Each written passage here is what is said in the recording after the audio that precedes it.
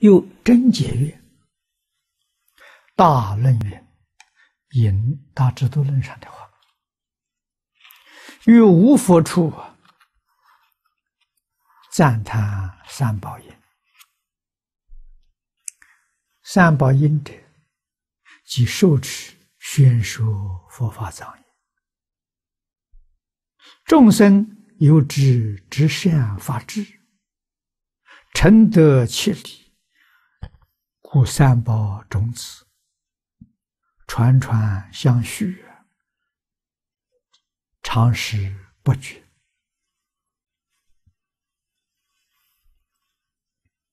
啊，这讲三宝也，于无佛处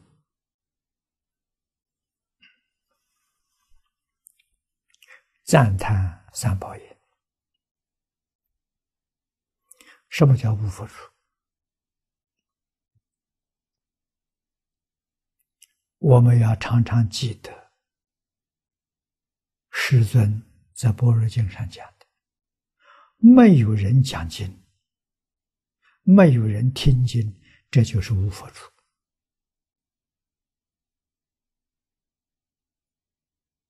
那佛说法就灭了。有人讲经，有人听经，没有人真正修行，这叫末法。啊，末法有人讲，没有人真干了。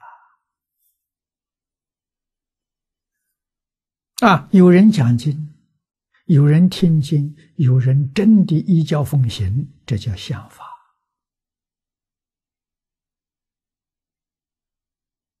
啊，不但有人修行，还真有行正果。净宗法门往生就是正果。啊，有讲。有听的，有真修的，有真往生的，这是正法。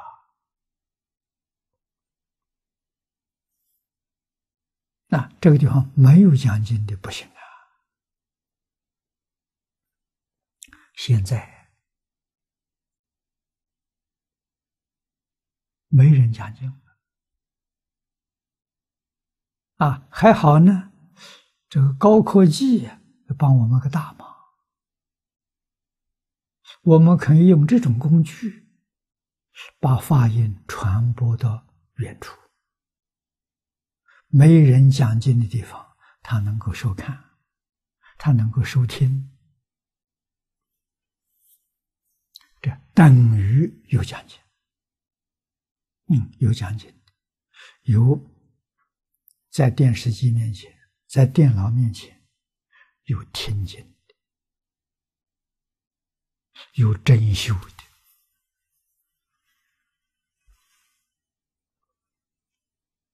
的啊，能不能往生？现在我没看到，但是我们看到这是末法时期啊，佛的末法时期存在呀，没人讲经，末法没有了，灭法了啊！特别在灭法的时候，佛在那里劝我们啊，劝我们说。赞叹三宝音，啊，赞叹三宝音。三宝音呢？三宝音就是受持、宣说佛法者。当然，你先受持，你要不接受，你要不肯学习，你怎么会讲得出来？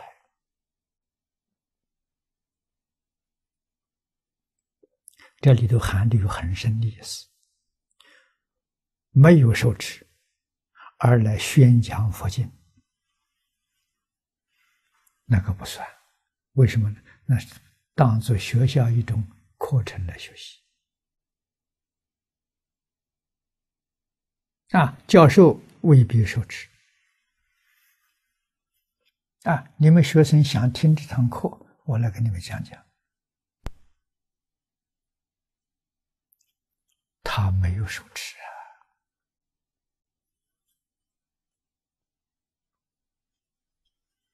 这个诸位要知道啊，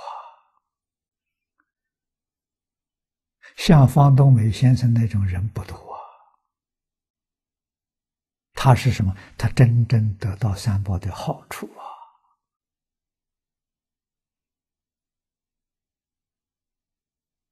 他从峨眉山养病回去之后，在山上看到佛经，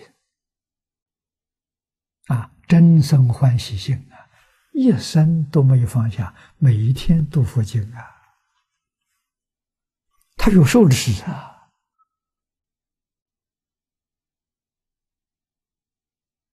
他在学校里面讲的课程全部讲佛经啊，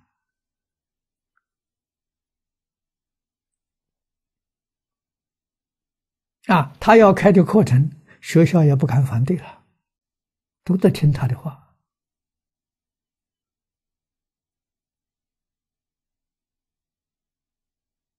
啊，晚年就二十多年了，在学校里面讲大乘佛学。讲隋唐佛学、魏晋佛学、华严哲学，讲这些东西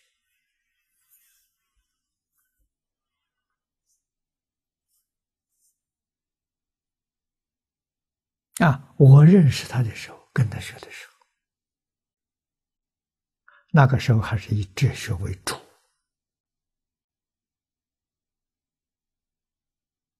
研究佛学。但是晚年，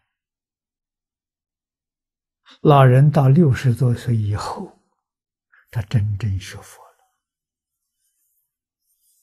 虽然没有皈依，他真学了，锲而不舍，从佛学慢慢真的变成学佛了。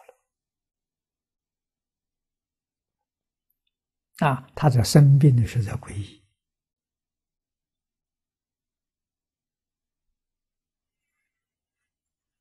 啊，广清法师给他做皈依啊，这也是在台湾的一位大德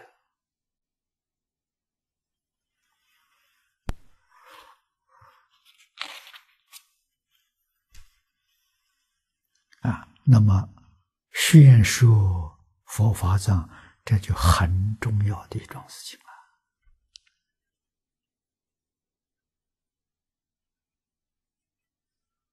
了。啊，众生有知，知善法智，这个东西听众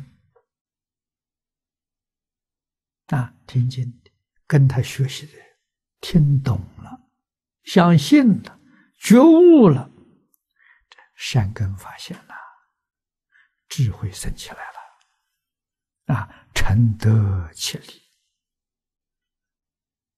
啊，这是。有行有正，故三宝种子传传相续，长时不绝